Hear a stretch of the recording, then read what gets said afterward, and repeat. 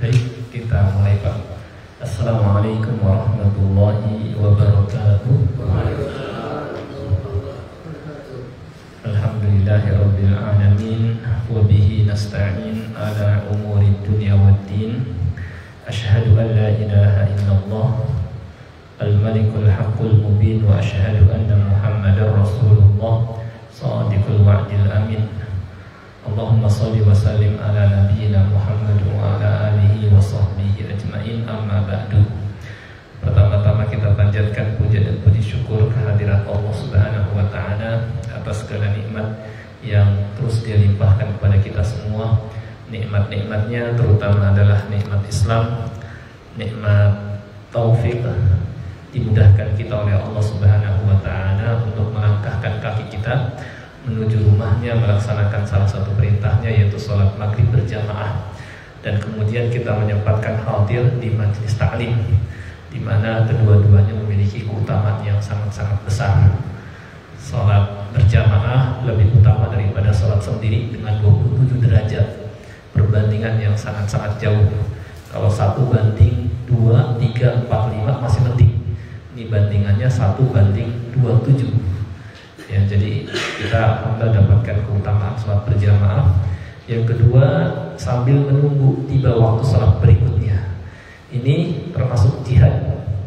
Ya jadi orang banyak pada nggak tahu ada keutamaan besar dari menunggu tibanya waktu sholat pernah Rasulullah Shallallahu Alaihi Wasallam bersabda ada adulukum maukah kalian kutunjukkan sesuatu? Ada ma yang Allah bihi al khataya wa yarfa'u bihi darajat wa kama qala sallallahu alaihi wasallam sesuatu yang dengannya Allah akan tinggikan derajat.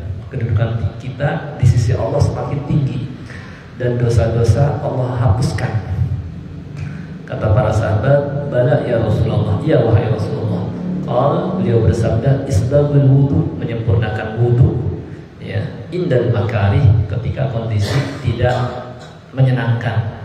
Lagi dingin cuaca kita ini lagi istilahnya nggak enak badan misalnya kita sempurnakan wudhu kita. Yang kedua wakaf ratul khoto ilal masjid. Banyak melangkahkan kaki menuju masjid untuk sholat berjamaah.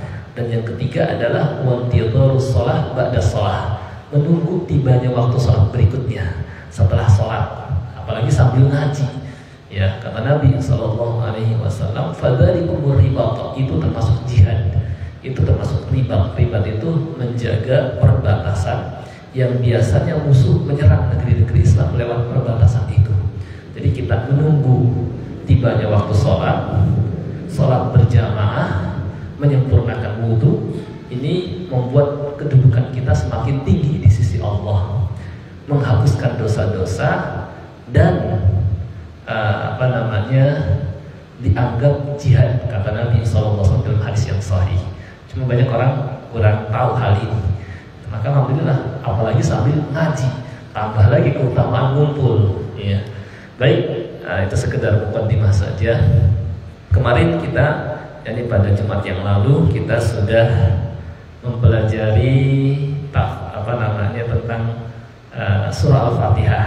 yakni mengenal uh, tentang surah Al-Fatihah, nama-nama, keutamaan, dan seputar soal Fatihah. Baru sekarang kita masuk ayat per ayat. Ya, sebelum masuk ke ayat per ayat, kita masuk ke dalam juz 1. Ini kandungan secara umum. Bahwa surah Al-Fatihah ini ya mencakup semua makna atau kandungan yang ada dalam Al-Qur'an. Mengandung maksud-maksud Al-Qur'an yang asasi secara garis besar sehingga disebut umul Quran sudah disampaikan. Oleh karena itulah dinamakan Ummul Kitab yang artinya itu Al-Quran. Ayat 1 sampai 4 menerangkan materi akidah. Mengenalkan kita tentang Allah Azza wa Jalla. Jadi di surah Al-Fatihah kita diperkenalkan tentang Allah Subhanahu wa taala yang manusia sebelum diutusnya Nabi Muhammad SAW berada dalam keja kejahiliahan atau kebodohan bukan dalam urusan dunia karena mereka pintar dalam urusan dunia tapi dalam urusan agama dalam urusan akhirat Kemudian secara rincinya mereka nggak kenal Allah Subhanahu Wa Taala dalam arti nggak tahu siapa yang berhak mereka sembah sehingga ngasal dalam menyembah apa saja yang mereka mau sembah mereka sembah. Mereka juga apa? Uh, tidak kenal lebih lanjut siapa Allah Subhanahu wa taala. Maka surah Al-Fatihah memperkenalkan siapa Allah. Allah Rabbul Alamin Tuhan pencipta, penguasa, pengatur alam semesta ini dan pemberi rezekinya. Dia penguasa bukan hanya di dunia tapi di akhirat juga. Malik Yaumiddin. Ya, dia juga punya sifat Ar-Rahmanir Rahim yang Maha Pengasih lagi Maha Penyayang. Diperkenalkan siapa Allah. Ya. Kemudian di ayat kelimanya diperkenalkan kepada kita tujuan diciptakan manusia. Yang mana sebelumnya manusia juga nggak tahu untuk apa diciptakan. Mereka kira bahwa mereka diciptakan untuk apa? Makan, minum, dan bersenang-senang serta memuaskan nafsu. Dan kalau kita lihat manusia seperti ini kebanyakan perhatiannya tertuju kepada perut dan nafsu. Yang dikejar adalah untuk itu. Ya. Bahkan penyakit ini pun menimpa banyak umat Islam. Sehingga nggak ada di sela-sela waktu mereka beribadah. Mereka berangkat pagi, pulang sore atau malam hanya untuk mengejar dunia.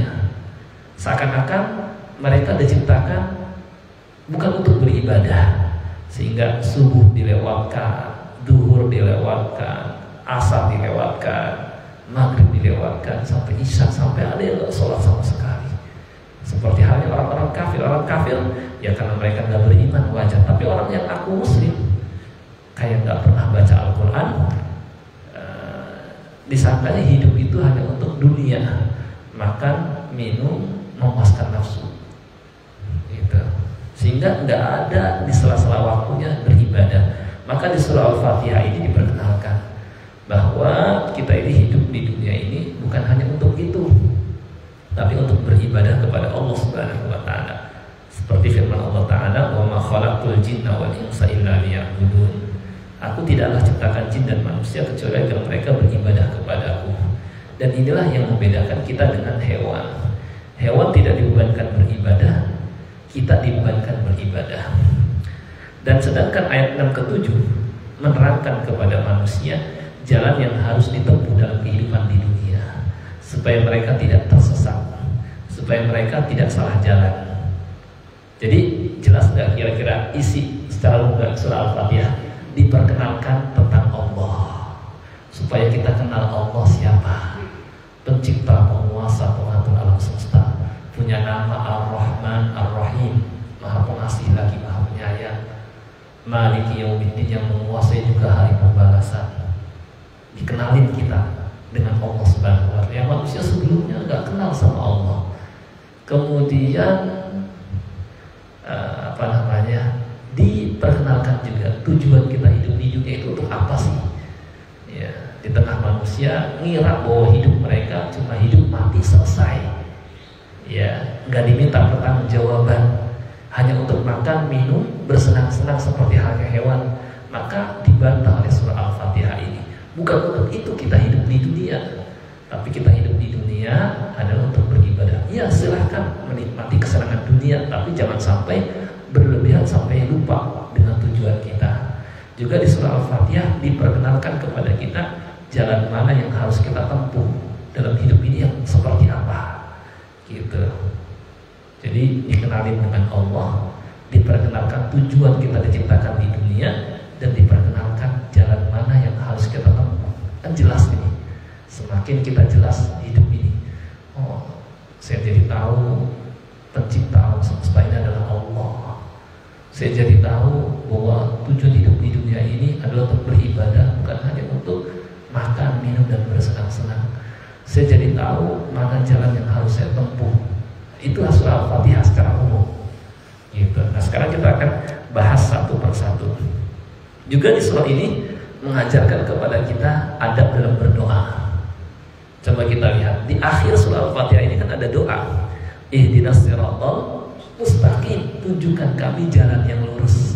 sebelum kita minta ini kalimat sebelumnya apa dari mulai Alhamdulillahirabbil alamin arrahmanirrahim maliki yaumiddin di sana kita puji-puji Allah dulu jadi di antara adab berdoa adalah puji Allah dulu ditambah dalam hadis bersolawat kepada Nabi Shallallahu Alaihi Wasallam lalu berdoa supaya lebih mustajab. Gitu itu maksudnya. Istilah ada berdoa kita awali dengan puja-puji Allah dulu. Itu supaya lebih mustajab. Nah jadi surah al-fatihah mengajarkan juga kepada kita tentang itu. Baik kita masuk ayat yang pertama. Menurut sebagian ulama ini sebagai ayat yang pertama. Sedangkan yang lain berpendapat ini sebagai apa namanya tidak termasuk surah al-fatihah ayat yang pertama alhamdulillahirobbilalamin tapi kita menurut mayoritas dalam arti uh, pendapat uh, riwayat yang kita banyak ambil riwayat yaitu riwayat Hafiz an Asim bahwa basmalah bagian dari surah Al-Fatihah. Saya bacakan. A'udzu billahi.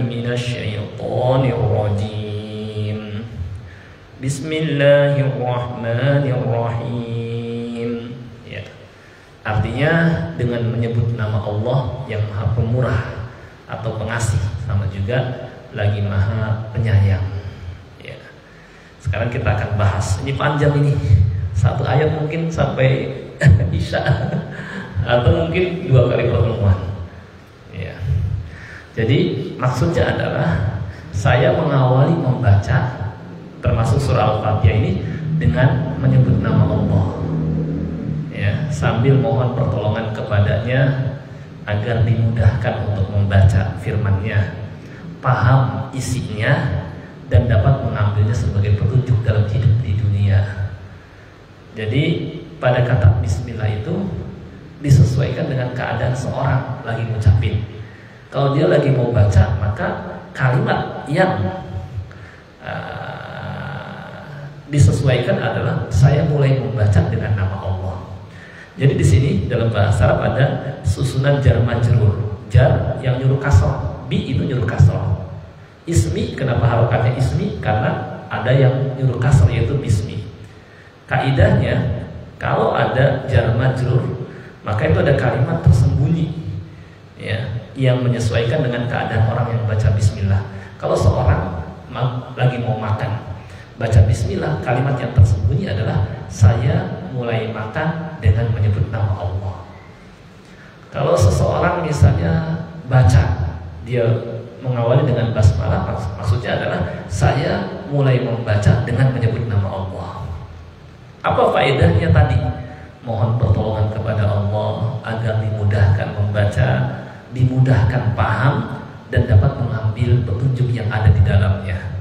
Gitu. Dan perlu kita ketahui ada beberapa perbuatan yang kita disyariatkan mengawali dengan basmalah. Seperti berwudu, baca bismillah. Kata Nabi Shallallahu alaihi wasallam nanti hadisnya akan saya sebutkan la wudu aliman lam yadhkur ismallah alaih tidak ada wudu atau tidak sempurna wudu bagi orang yang tidak menyebut bismillah. Maka baca bismillah. Mandi juga sama. Mandi besar misalnya. Cuma kalau di kamar mandi jangan dikeraskan kemudian makan. Juga baca bismillah. Kenapa? Supaya setan nggak ikut makan bersama kita.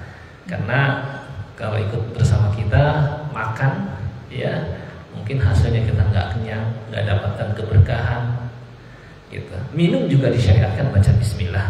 Menyembelih hewan pas kurban Bismillah wajib ini ya kalau kita sengaja maka nggak halal hewan sembelihan kita. Wajib Bismillah. Berburu ketika kita di tengah hutan nyari apa makanan. Kita nyari hewan buruan ya yang halal untuk diburu gitu. Maka kita sebelum melepas panah tembakan atau semisalnya baca bismillah ya untuk jadi halal. Kecuali kalau masih hidup setelah kita tembak atau setelah kita panah ya nggak membuatnya mati ya baru kita bisa uh, sebenarnya sembelih cuma kalau langsung mati udah halal karena udah kita awali dengan bismillah kemudian menaiki kendaraan Nanti ada doanya secara khusus baca bismillah dulu. Ketika naik, ketika duduk, tambahkan alhamdulillah subhanalladzi sakhkhara lana dan seterusnya. Meruqyah. Ada orang kesurupan ketika kita membacakan surah Al-Fatihah, baca bismillah dulu. Ya. Apa namanya? Atau membaca uh, doa-doa ruqyah. Bismillahirrahmanirrahim. Allahu la ilaha illa huwal hayyul qayyum dan seterusnya ketika membaca Al-Quran di awal surah, di awal surah, yakni uh, awal setiap surah kan kita lihat ada basmalah, kecuali surah At-Taubah, At-Taubah maka tidak ada basmalah. Nanti akan diterangkan kalau kita sampai ke surah At-Taubah. Ya, hikmahnya apa? Masuk dan keluar masjid, Bismillah, wassalatu wassalamu ala rasulillah dan seterusnya. Mengunci pintu.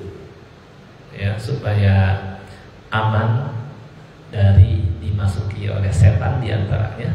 Karena setan bermalam pada rumah yang tidak disebut basmalah di situ maka dia bisa bermalam di situ cuma kalau kita sebut Bismillah maka dia nggak bisa bermalam dia akan berkata kepada sesama setan la mabita lakum wala malam ini kita nggak bisa bermalam di rumahnya juga nggak dapat jatah makanan karena dia baca bismillah. Kemudian menutup wadah air. Jadi kalau ada tempat minum yang kita ambil air dari situ buat minum, malam hari ditutup.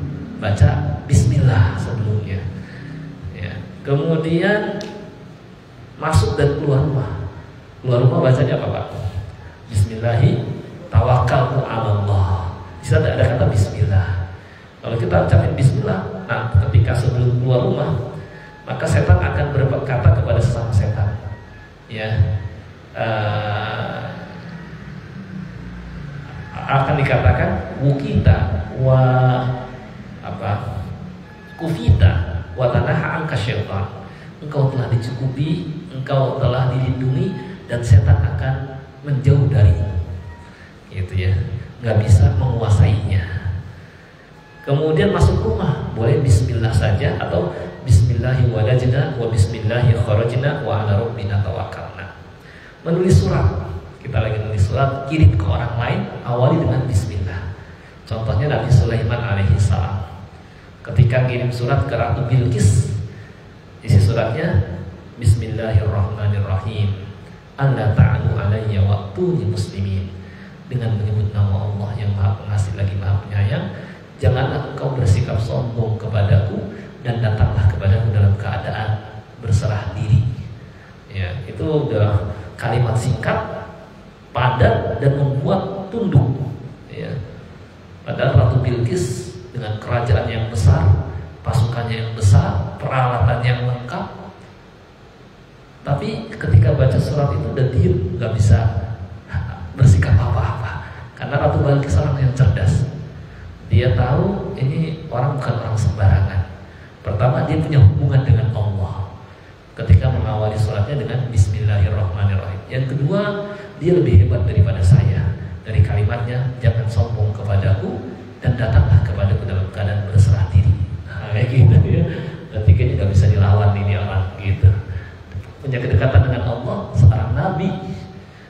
Kemudian nggak bisa dilawan karena raja gimana istilahnya nggak hebat gitu ya istilahnya kerajaannya besar pasukannya pun ada jin ada malaikat manusia hewan kayak gitu ya kemudian pada saat dikir pagi dan petang. Apa Pak? Ingat nggak mungkin dikir pagi petang? Kalimat ininya. Lafaz yang ada bismillahnya. Bismillahirrahmanirrahim la yadurru ma'asbihi syai'un fil ardi wa la fis sama. Wa huwa samiul tiga kali di pagi dan petang.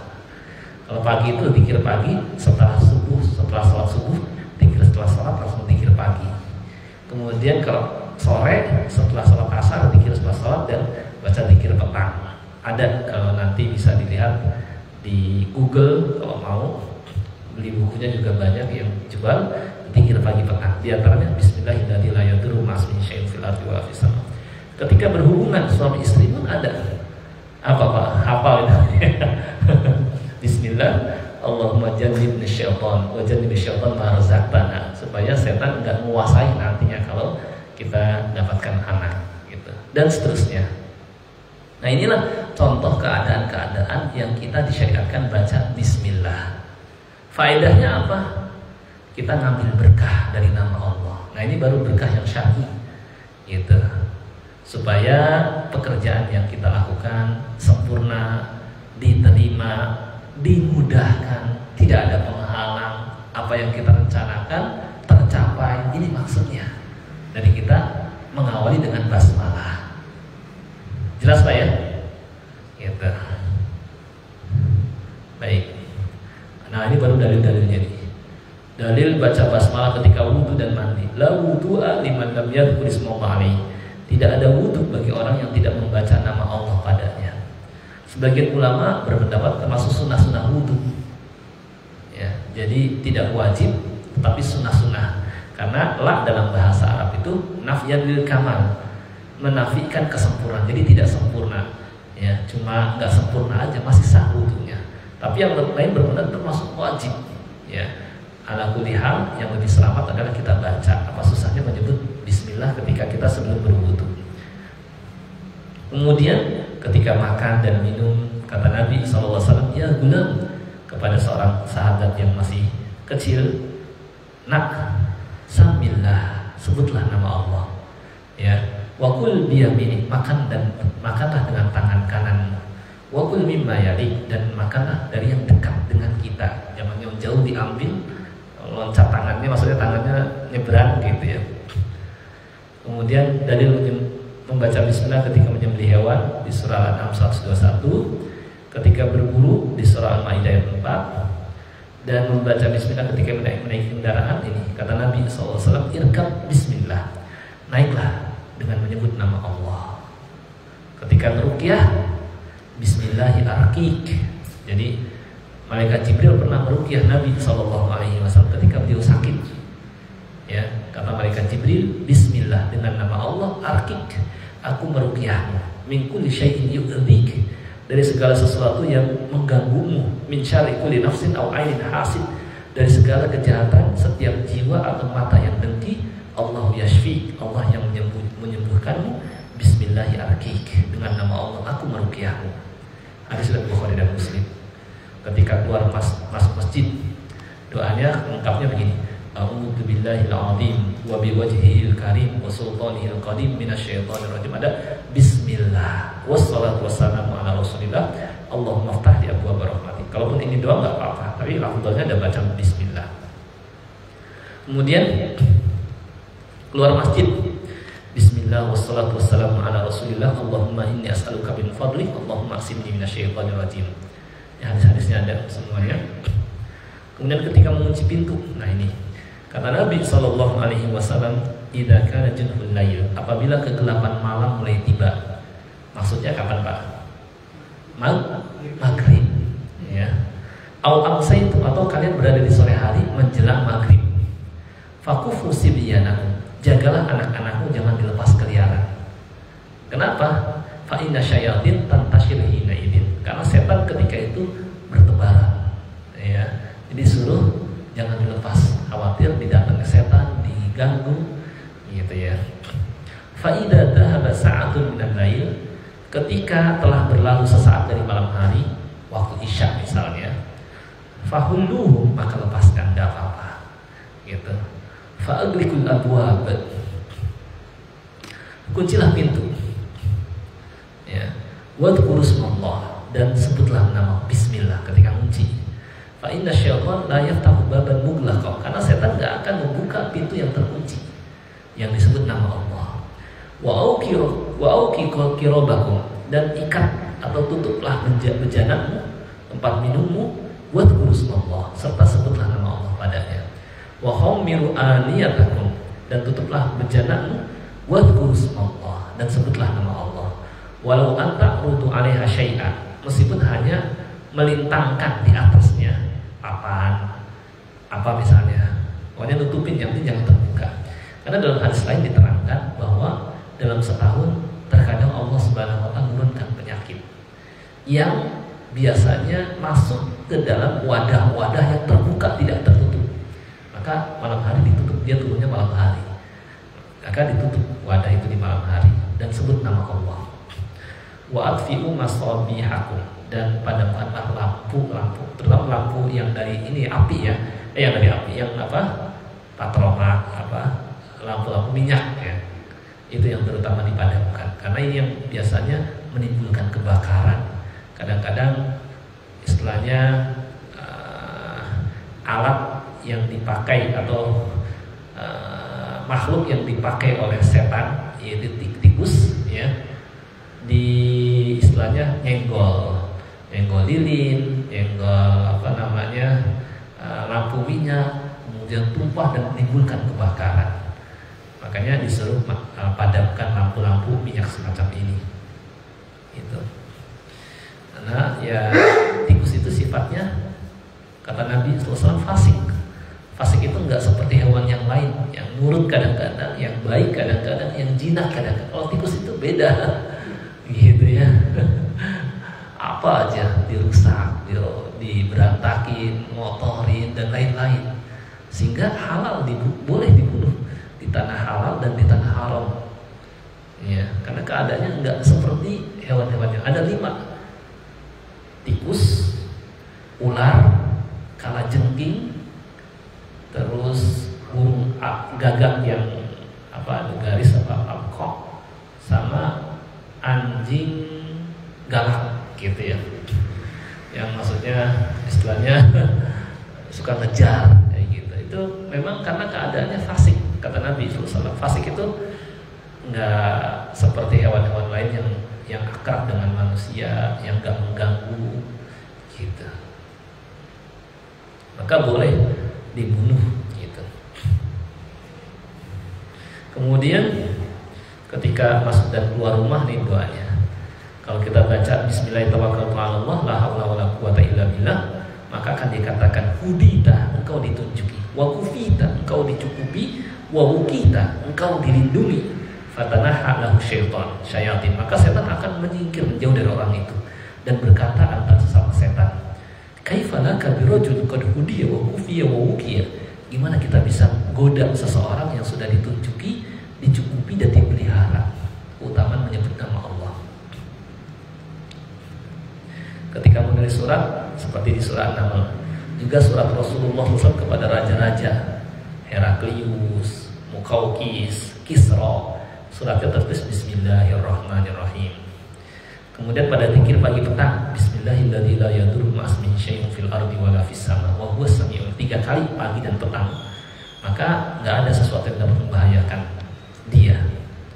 Ketika berhubungan suami istri, maka setan nggak akan membahayakan nantinya kalau anaknya lahir. Ya. Tetapi tidak ada contoh dari Nabi SAW untuk kalau mau sholat awali dengan basmalah tidak tapi dengan takbir jadi ada keadaan-keadaan tertentu yang kita disyariatkan baca bismillah tapi ada keadaan yang awalnya bukan basmalah tapi takbir seperti sholat diakhiri dengan salam nah ini keadaan-keadaan. Kita satu ayat aja cuma selesai setelah itu kita diskusi lah gitu ya. Keutamaan tasmiyah. Tasmiyah itu namanya basmalah. Bacaan bismillah Amman kana radifan Nabi sallallahu alaihi wasallam dari orang yang pernah dibonceng oleh Nabi sallallahu seorang sahabat. Jadi tawaduknya Nabi sallallahu kadang boncengin sahabat di belakang. Ia berkata, aku pernah kuntu radifahu ala himar. Aku pernah dibonceng oleh Nabi sallallahu ya di atas keledai. Fa'athara himar. Lalu keledai itu tergelincir, terpelanting jatuh. Fakultu, aku pun berkata, Taisa syaitan, celaka setan. Ya, Faqala liyan Nabi SAW Maka Nabi SAW bersabda kepadaku La takul syaitan. Jangan ucapin begitu. Jangan ngomong celaka setan. Jangan. Karena kalau kamu ucapkan begitu Ta'adu syaitan fi nafsi Maka setan akan membesar Membesar Marah dan berkata Sorok bukan. Bikuwati saya akan lawan kamu dengan kekuatanku. Nah, Dia kalau kalau kita Istilahnya uh, Rendahkan dia membesar tapi kalau kata Nabi Faidah kulta Bismillah Kalau engkau menyebut Bismillah Tasagarat ilaihi nafsu Maka dia mengecil, mengecil. Jadi rendah, kecil. Hatta yakunu asghar min duba sampai lebih kecil daripada lalat takut dia disebut nama Allah. Tapi kalau kita nggak nyebut nama Allah dia membesar. Celaka setan. Dia membesar besar dia akan malah berkata saya akan lawan kamu dengan kekuatanku. Ya kalah kalau kita dilawan sama setan ya maka di antara penyebab terjadi kesurupan digoda itu setan diganggu terusik dianya. Ya kitanya malah istilahnya ngerendahin ngeledekin hanya dia marah kayak gitu ya. Maka dia timpakanlah kesurupan masuk ke badannya godain. Tapi kalau kita nyebut Bismillah takut dia ketakutan mengecil gitu. Makanya kata Allah dalam Al-Quran ini ada kisah bagus insya Allah ini sebagai akhir setelah itu kita mungkin diskusi. Dalam Al-Quran disebutkan wa imma yanzagunnaka yanzagunnaka. Di surah Fusilat. Nah, di sini kata Allah Azza nah, sebelumnya wala tastawil hasanatu wala sayyi'ah idfa' billati hiya ahsan fa idza alladhi bainaka wa bainahu adawah ka'annahu waliyyun hamim. Tidak sama yang baik dengan yang buruk tolaklah keburukan dengan kebaikan. Maka boleh jadi yang antara engkau dengan dia ada permusuhan berubah menjadi teman akrab. Maksudnya apa Pak kira-kira? Untuk menghadapi manusia yang jahat jangan lawan dengan kejahatan tapi lawan dengan kebaikan. Boleh jadi antara dia ada permusuhan berubah jadi teman akrab mikir dia ya. Kenapa saya jahatin ya perasaan dia orangnya baik sama saya. Ngasih hadiah ketemu salam senyum nyapa. Suka ngasih lagi ke saya. Kayak gitu. Itu maksudnya. Kata Allah jangan lawan keburukan dengan keburukan lawan dengan kebaikan. Kayak gitu. Nah apa selanjutnya? Wa imma yang kalau saya sebenarnya wa ma yulaqaha ya tidak ada yang diberikan sikap seperti itu membalas keburukan dengan kebaikan illa alladziina sabaru. Kecuali orang yang sabar. Wa ma yulaqaha illa tuhaddin azim. Dan tidak ada yang punya sikap seperti itu kecuali orang yang punya keutamaan yang besar. Wa imma yang zagunnaka minasyaitani nazgun fasta'id billah. Tapi kalau kamu digoda oleh setan Allah nggak katakan balas dengan kebaikan. Kenapa? Dia nggak bisa dirayu. Gitu.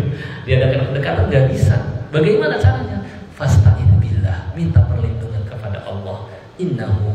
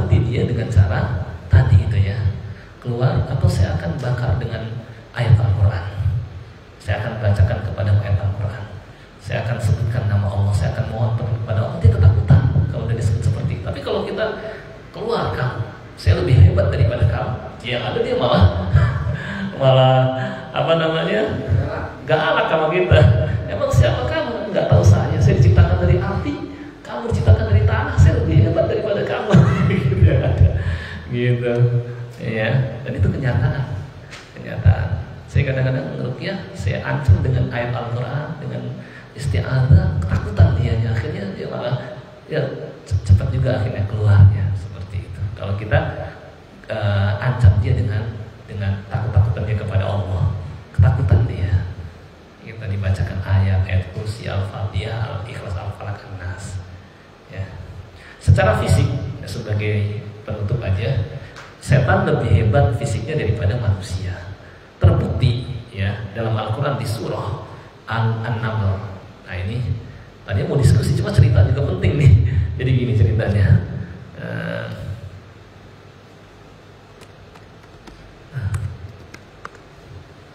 nah, jadi ketika Nabi Sulaiman alaihissalam dapat info dari Hudhud yang datang terlambat, dia melihat ada kerajaan dipimpin oleh wanita namanya Ratu Balkis yang nyembah matahari. Wah, kayak gitu ya maka e, Nabi Sulaiman kirimkan surat yang isi suratnya Bismillahirrahmanirrahim. Ya, innahu min Sulaiman. Ini dari Sulaiman. Isinya Bismillahirrahmanirrahim. Jangan engkau bersikap sombong kepadaku dan tunduklah kepadaku. Menyerah apa? Datanglah kepadaku dalam keadaan berserah diri atau menyerah kayak gitu ya. Ketika dibaca ini bukan orang sembarangan ini. Maka disuruh pada hadir para pemukanya, tokoh-tokoh kerajaan. Bagaimana menurut kalian untuk menghadapi orang ini? Gimana nih? Ini dia ngasih surat seperti ini isinya. Kata mereka, nah lu kuat, kita itu orang punya kekuatan, perlengkapan, persenjataan, kerajaan yang besar. Kalau kamu mau nyuruh kami perang siap, kayak gitu kata pasukannya, kayak gitu ya. Nah, kata Ratu Galkis, nanti dulu, saya coba kirim utusan sambil bawa hadiah. Kira-kira kali aja dia bisa diadakan pendekatan, nggak jadi melawan kita kayak gitu. Ya, maka sesampai di hadapan Nabi Sulaiman alaihissalam sambil bawa hadiah banyak, kata Nabi Sulaiman, irji ilahi pulang, saya nggak butuh hadiah kalian. Pemberian Allah jauh lebih besar daripada hadiah yang kalian berikan. Maka Nabi Sulaiman kumpulkan tokoh-tokoh kerajaan. Ada jin, ada malaikat, ada manusia di situ. Nah, di sini ceritakan begini. Ya ayyuhal malak di surah An-Naml ayat 38. Wahai para pembesarku. Kayak gitu. Ayyukum ya'tini bi arsyiha qabla ayyatuni muslimin. Siapa di antara kalian yang bisa bawa kerajaan singgasana sebelum mereka datang kepadaku dalam keadaan menyerah gitu. Jadi diangkat istana negara. gitu. Siapa yang bawa siap mindahin istana negara. gitu ya. Ini dari tempat yang jauh dari Yaman, kerajaan Sabah ini kan di Yaman. Sedangkan Nabi Sulaiman di Syam. Ya mungkin dari apa namanya Surabaya ke Jakarta. Siapa yang bisa mindahin istana negara dari Surabaya ke Jakarta misalnya? Kalau Bogor kedeketan, gitu ya. Kalau ifritun minal jin berkata jin ifrit jin yang kuat Anak atika bihi qabla an takuma min maqami. Saya bisa mindahin istana itu sebelum engkau bangun dari tempat dudukmu. Tentara ini salah satunya gitu ya. Wa inni alaihi laqawiyyun amin. Saya kuat bagi terpercaya untuk mindahin istananya kayak gitu. Nah ini jin menunjukkan jin perkasa bisa mindahin istana sendirian dari tempat yang jauh. Maka kalau kita lawan setan secara fisik kita kita kalah sama setan. Makanya tadi Allah mengarahkan kalau kamu digoda oleh setan jangan hadapi dengan kebaikan atau fisik kamu karena kamu kalah dengan setan. Tapi minta perlindungan kepada Allah. Nah, tapi ada yang lebih hebat. Siapa malaikat? Qala indahu min ilmu minal kitab. Berkata seorang yang diberikan ilmu tentang Alkitab. Ana atika bihi qabla an yartadda ilaika tarfu. Saya mampu membawa singgasananya sebelum matamu berkedip. Kalah. Kata ulama yang bawa adalah malaikat, menunjukkan bahwa malaikat lebih perkasa daripada jin. Makanya makhluk yang paling perkasa siapa? Malaikat. Makhluk yang paling perkasa. Tapi paling takut kepada Allah yang malaikat. Sudah paling perkasa, paling takut. Manusia sudah paling lemah. Kadang di antara mereka yang berani, bahkan ada yang sampai ngaku Tuhan seperti Fir'aun. Ya gitu ya. Sama jin aja kalah kuat. Maka jin ketika malaikat hadir dalam perang Badar, turun malaikat Jibril, yang Mikail udah ketakutan. Tadinya mereka mendorong, ayo lawan orang-orang para sahabat ini, orang eh, para pengikut Muhammad. Kami akan membantu kamu. Kan jumlah kaum muslimin cuma 300 orang. Sedangkan musuh orang-orang musyrik tiga kali lipat, seribuan orang. Ya kan nggak seimbang.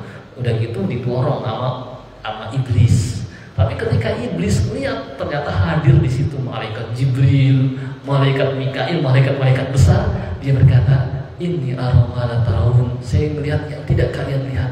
Ini akhafullah rabbal alam. Saya takut kepada Allah rabbul alam. Artinya ngibrit langsung takut ninggalin orang-orang musyrik karena melihat para sahabat ketika itu dibantu oleh malaikat pada turun. Nah itu karena takut jin itu sama malaikat. Ya. Nah itulah mungkin sekedar tambahan saja. Nah ini mengecilnya setan karena pengaruh berkahnya nama Allah. Takut dia. Ya. Saya kira cukup ya tentang ini nanti insya Allah pembahasan ini mungkin sebelum ditutup kalau ada yang mau ditanyakan atau nanti insya ditambahkannya pada pertemuan yang akan datang. Silakan satu dua pertanyaan. Kita sebentar yang penting rutin insya Allah mudah-mudahan Allah mudahkan bisa rutin ya silakan Waalaikumsalam warahmatullahi wabarakatuh kaitannya dengan setan lagi jadi. Iya. Eh, itu katanya apa? Onta itu dia binatang yang dekat setan atau apa kayak pernah tahu tuh? Iya Onta itu binatang yang uh, ditemani setan atau apa katanya? iya betul betul jadi gini Makasih katanya. Iya, baik. Ini dulu ya. Jadi ada tempat-tempat yang makanya kita nggak boleh sholat di situ. Yang kayak tempat pembalikan unta. Ya kenapa? Ya mungkin setan senang di situ. Wallahu taala. Beda dengan tempat pembalikan kambing. Itu istilahnya lebih baik gitu. Kan ada beberapa tempat kita nggak boleh sholat. Di antaranya kuburan, kamar mandi, tempat pembaringan unta berbaring karena manusia Allah tempat setan juga itu. Kemudian setan juga senang di tempat-tempat lubang-lubang senang juga di kamar mandi. Makanya kan kita sebelum masuk WC Allahumma inni a'udzubika minal khubuthi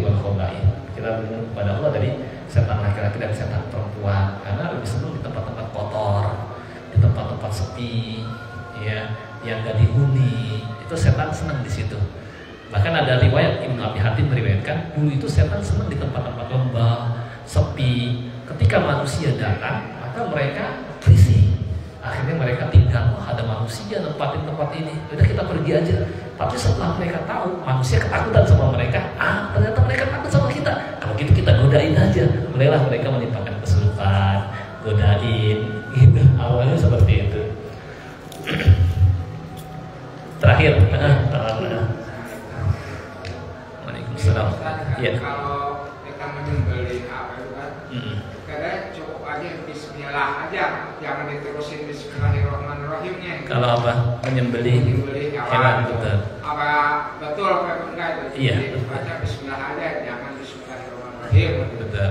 Jadi kalau menyembelih hewan bacanya Bismillahi Allahu Akbar nggak pakai arah tanggal sepanjang. Jadi Bismillahi Allahu Akbar. Nah, itu aja. Jadi ada keadaan-keadaan yang dilengkapin, keadaan-keadaan yang kita cukup sampai Bismillah aja. Termasuk kayak masuk uh, atau keluar rumah. Lafaz hadisnya Bismillahirrahmanirrahim. Nggak usah kita tambahkan Bismillahirrahmanirrahim. Tawakal nanti berantakan lafaznya. Sama seperti ketika menyembelih juga lafaz hadisnya Bismillahirrahmanirrahim. Kalau kita tahu Bismillahirrahmanirrahim Allahu Akbar nanti kepanjangan nanti berantakan lafaznya. Gitu. Maksudnya sama seperti ketika akan keluar rumah tadi. Kalau dalam hadisnya seperti itu gitu aja, gitu. Allahu Akbar, gitu. Yang wajib Bismillah, yang sunnah Allahu Akbar. Maksudnya hukumnya sunnah. Afdolnya sekalian Bismillah Allahu Akbar. sekali aja. Sekali aja. Gitu. Cukup ya Pak ya, karena waktu Isya sudah tiba. Mungkin ini yang bisa kita belajar sedikit. Yang penting mudah-mudahan istiqomah Allah berikan kesempatan terus kita untuk bisa sampai nggak tahu sampai mana. ini baru Bismillah doang belum selesai. Ya. Baik, kita tutup dengan doa kafaratul majlis. Subhanakallahumma bihamdika asyhadu an la ilaha illa anta astaghfiruka wa atubu ilaik. Assalamualaikum warahmatullahi wabarakatuh.